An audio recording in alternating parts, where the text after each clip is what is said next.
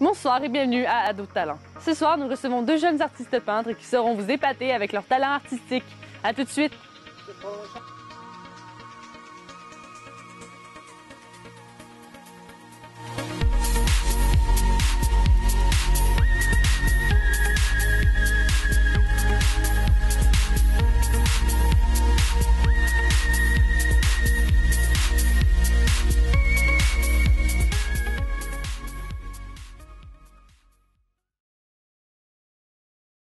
Alors bonjour les filles, euh, bienvenue sur le plateau. Merci. Alors euh, dites-moi, euh, vous, vous, vous peignez, vous faites des, des toiles, c'est bien ça? Oui, Oui. exactement. Parfait. Question générale, vous vous connaissez d'où? Ben, en fait, on s'est connus à notre école de dessin il y a de cela quelques années déjà. Puis étant donné qu'on suit les mêmes cours le vendredi soir depuis des années, ben, on se connaît quand même un petit peu. C'est parfait ça.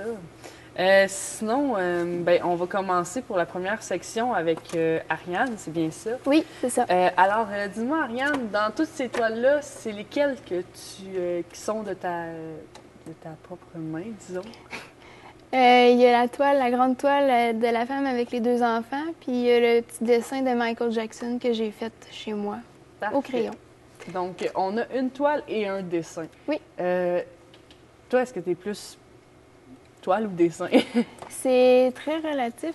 Je te dirais que ça dépend de mon humeur parce qu'un dessin comme Michael Jackson, c'est plus rapide à faire. Je peux le faire chez moi. euh, ça peut prendre 8 heures, tandis que la toile, c'est beaucoup d'engagement, c'est beaucoup de patience, mais en même temps, ça fait un très beau résultat. Je pour ça que je te dis, ça dépend vraiment de mon humeur. Mais j'aime les deux. Parfait. Donc, euh, ben, parle-moi de, parle-moi de tes œuvres. C'est sûr, sur le dessin, ben, on voit que c'est Michael Jackson. Il n'y a pas grand. euh, Est-ce que tu as pris une photo puis euh, tu l'as. euh, En fait, euh, j'ai fait ça vraiment en simple. J'ai fait une recherche sur Google, puis j'ai tapé Michael Jackson. J'ai retravaillé la photo pour, euh, pour donner plus de contraste. Puis ensuite, je me suis basée de la photo pour faire le dessin. Est-ce que c'est les étapes que tu fais avant de commencer un dessin, une reproduction? Oui. Euh, OK. J'essaie toujours de retravailler les contrastes justement pour avoir un meilleur euh, éclairage, si on peut dire, dans le visage, avoir plus de ton, avoir plus de relief. Parfait. Puis parle-nous de ta grande toile qui est plutôt prédominante. Là. La grande toile, euh, originalement, était intitulée euh, Hélène Fourment et ses enfants. C'est une toile de Pierre-Paul Rubens. Puis c'était dans le style baroque. Euh, J'aime beaucoup ce style-là. Ça fait changement des toiles que je faisais avant. J'aime beaucoup, euh, de, j'aime beaucoup voir la femme avec ses deux enfants, de voir la mère comment elle regarde son petit gars. Euh, ben, comme je vois, euh, toi, c'est vraiment les personnages, là, en tout cas Oui. dans les deux euh, œuvres que je vois.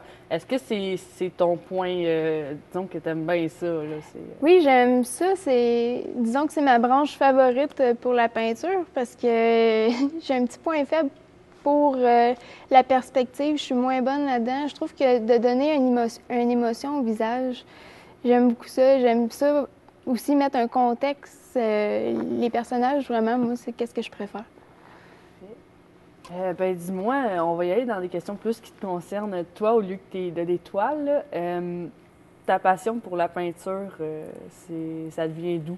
Ça date de plusieurs années. Je te dirais même que j'ai toujours eu cette passion-là. Ma mère a, elle, a, déjà fait de la peinture elle aussi. J'ai grandi dans une famille d'artistes. Puis euh, c'est vers l'âge de 10 ans que j'ai commencé vraiment à suivre des cours de dessin. Je me suis jamais tannée. J'aime ça. Quand j'ai le temps, j'essaie toujours d'en retravailler. J'ai toujours eu cette passion-là. Parfait. Euh, Est-ce que tu as déjà euh, exposé tes, tes œuvres ou. euh, Oui, une fois, en novembre 2011, pour euh, l'exposition de la Galerie des Beaux-Arts, l'école où ce que je vais. Puis euh, ça, c'était vraiment bien. On avait l'occasion de- d'exposer euh, quatre à cinq œuvres chacune.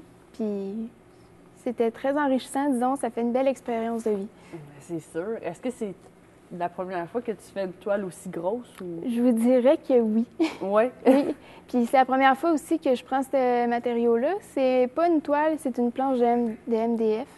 C'est pour euh, justement euh, réussir à faire la même transparence du fond que sur le modèle. Parfait. Euh, ben, parle-moi donc, c'est quoi le- la difficulté dans cette toile-là? En fait, la difficulté, je dirais, c'est surtout la transparence dans le fond, du, euh, du fond, parce que c'est un nouveau ma- matériau pour moi. C'est une manière différente de peindre. Puis tout dépendant, il faut rajouter de la couleur, mais si on n'en met pas assez, ça va faire trop transparent. Si on en met trop, ça va faire opaque. Il faut vraiment essayer de, de, de faire les mêmes tons, dans le fond. Mais je pourrais vous montrer, mon matériel il est déjà tout Ben oui, sorti. c'est ça que je vois. Fait que si tu veux, tu- ben, je t'invite à aller continuer ta toile. Pendant ce temps-là, ben, je vais parler avec euh, Béatrice. Allô, Béatrice. Euh, Salut. Ça va bien? Oui, toi? Oui. Alors toi, si j'ai bien compris, euh, tes deux toiles, on a ici l'enfant et les deux girafes. C'est bien ça? Oui.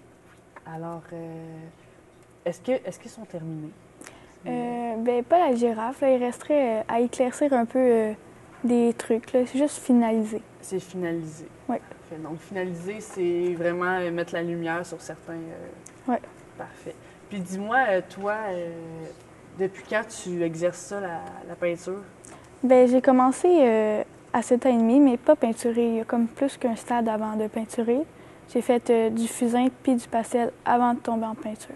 Parfait. Puis est-ce que, t'as- est-ce que tu as une préférence pour les toiles ou tu es avec le dessin vraiment? Non, je suis vraiment avec euh, l'étoile. L'étoile, parfait. Est-ce que c'est. Si, mettons, je te demandais, là, comparer, je sais que c'est deux arts quand même très différents, le dessin avec euh, la peinture, qu'est-ce que tu dirais les gros points très différents des deux? Ben, la peinture, ben, tu utilises euh, des pinceaux, puis il faut toujours que tu sois plus délicat. Puis mettons que tu fais une ligne dans, dans- dans ta toile, mais tu vas être capable de, de la, sans nécessairement de l'effacer, tu vas être capable de la réparer. Tandis que dans un dessin, il va falloir que tu utilises ta gomme à effacer pour réparer. Ça va être plus difficile à camoufler ton erreur. OK, parfait. Euh, Explique-moi, est-ce que tu avais une. Ça, c'est des reproductions de toiles déjà existantes ou ça vient de. C'est toi qui as dessiné ça, de ton. euh, Non, c'est des toiles de reproduction. euh. de reproduction, parfait. Puis, euh, dis-moi, là, moi, je vois, c'est de la nature vivante. Est-ce que, comme Ariane, t'es moins nature morte, puis tu vas dessiner euh, ce qui est vivant, finalement? Ouais, j'aime pas. Ben, j'ai un peu aussi de la misère avec la perspective. là. Mais aussi, c'est comme, il n'y a pas de vie dans une. Ben, oui, les arbres, c'est vivant, on dit toujours ça, mais quand tu peintures, c'est différent. J'aime vraiment mieux euh, faire des personnages, puis des animaux, puis. Parfait. Puis, dis-moi, sur ces toiles-là, c'est quoi qui. C'est quoi qui t'a décidé de prendre ces toiles-là parmi tant d'autres? Ben, elle, c'est vraiment à cause que c'est un personnage, là. Puis la girafe, c'est parce que je trouvais ça vraiment, vraiment mignon qu'elle donne un bec sur euh, la tête de son petit bébé. C'est sûr, c'est vraiment, vraiment mignon aussi. Euh, ben, est-ce que tu as déjà, toi, exposé euh, tes œuvres ou. oui, ben, à la même place qu'Ariane. OK. J'ai exposé de 4 à 5 œuvres, mais dans ce temps-là, j'étais en pastel. Oui, en pastel. Ah, parfait. Euh, sinon, dis-moi, euh, ça a été quoi? C'est quoi le point vraiment difficile dans la confection d'une toile? Ben, dans cette toile-là, je te dirais que ça serait les cheveux. Les cheveux? Ouais. Parfait. Moi, c'est sûr, ça doit pas être Puis dans la girafe, ça serait le corps du bébé girafe. OK. OK. Parce- Y a-t-il une raison? euh? Ben, parce qu'il faudrait, faudrait vraiment. On jouait, je jouais vraiment avec euh, les teintes, là. OK. Puis c'était difficile, je trouvais. Ben, c'est sûr, on voit aussi tous les ombrages. Ça ne devait pas être facile. Euh, je vois, admettons, y a- je vois que c'est dans les mêmes teintes de brun puis orangé. Est-ce que c'est une teinte que, que tu aimes vraiment, qui te plaît beaucoup, ça? Mais pas nécessairement. Je les ai vraiment juste pris parce que je les trouvais belles. OK, parfait. Est-ce que tu as une teinte que tu es plus familière ou tu es ouverte à pas mal toutes les couleurs et les tons? Mais j'aime vraiment les couleurs chaudes. Je trouve que c'est plus euh, vivant. Parfait. Est-ce que tu. Quand tu fais une toile, est-ce que tu recherches une ambiance à. Est-ce que tu cherches euh, de quoi de chaleureux, de quoi de choquant, de. C'est quoi que tu recherches quand tu De choisis une toile? chaleureux. Parce que souvent, je les expose dans ma maison. Puis je veux que le monde dise Ah, on se sent bien, ouais, elle est belle, la toile. Oui. Parfait. Est-ce que toi, tu veux en faire une carrière, ça, euh, artiste peintre, ou tu vois ça vraiment comme un, un passe-temps, un hobby, finalement? Je vois vraiment ça comme un passe-temps parce que je, je sais pas, défaire de mes toiles, ça serait difficile au nombre d'heures que je passe dessus. Là. C'est sûr. Est-ce que tu as des artistes peintres que tu admires ou que tu.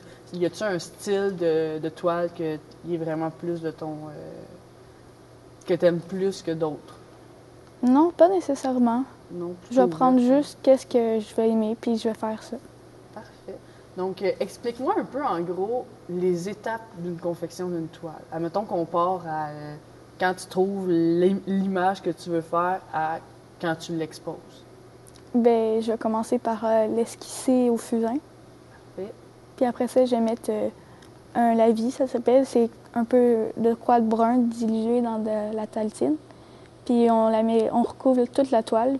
Puis après ça, on commence à peinturer. OK. Puis ça, là, c'est sûrement pas juste une couche, là. tu sais, c'est- C'est-tu... euh, c'est sûrement comme un fond. Est-ce que tu fais comme un fond complet, puis tu dessines? Est-ce que c'est de la superposition de couleurs ou... euh, Oui. Oui, Ben, il faut les mélanger. Puis euh, parfait. Puis dis-moi entre les deux, laquelle a été la plus difficile à faire? je dirais que ça serait les girafes. Les girafes, Ouais. est-ce que c'était pour le corps ou euh, il y avait autre chose qui, euh, qui rendait ça très euh, complexe? Non, sérieux, c'est vraiment pour euh, le corps. Le corps? Est-ce qu'il y en a une que tu préfères entre les deux ou vraiment les deux? Entre les deux toiles, Ouais, la girafe, je pense. la girafe. Mais c'est ma plus récente aussi, là. OK. Ça t'a pris combien de temps à faire? Euh, ben, je sais pas, mais environ euh, un mois environ. Je sais pas trop. Mais en fait, je sais pas trop, là. C'est bon. Puis, euh, puis elle, euh, elle a été aussi longue ou je sais pas? Je sais pas euh, vraiment, là, mais je sais que ça, c'est mon avant-dernière toile. OK. Puis ça, est-ce que, tu tra- est-ce que tu travailles ça seulement à tes cours que tu suis avec euh, Ariane ou tu travailles ça aussi chez vous, Euh, non, vraiment juste à mes cours. juste à tes cours? Donc, si, admettons, tu dis que ça, tu l'as fait pendant un mois, ça veut dire comme quatre semaines, donc quatre heures de temps? Ben, c'est une heure et demie un cours. OK, OK, ouais. OK, c'est bon. Mais des fois, euh, je vais en reprise, comme ça va me faire trois heures de cours. Parfait. Ben écoutez, euh, c'est vraiment parfait. euh, c'est- vraiment beau, là, vos toiles. Je sais même pas quoi. je sais même pas quoi dire de plus. C'est vraiment beau. Puis euh, ben, je vous souhaite vraiment de, de continuer là-dedans. C'est un bel art que vous avez. Ça se perd, c'est sûr, un petit peu la peinture, mais bravo. Vraiment. Merci. Et merci beaucoup. Bon, ben à la prochaine. À la prochaine. À la prochaine.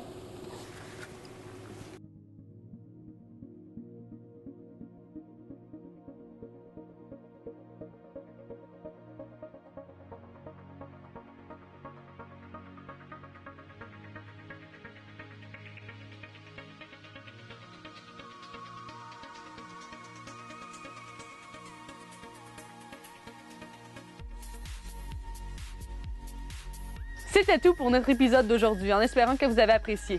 La semaine prochaine, nous recevons Kowalski l'Infini, un artiste qui nous réserve plein de surprises. À la semaine prochaine!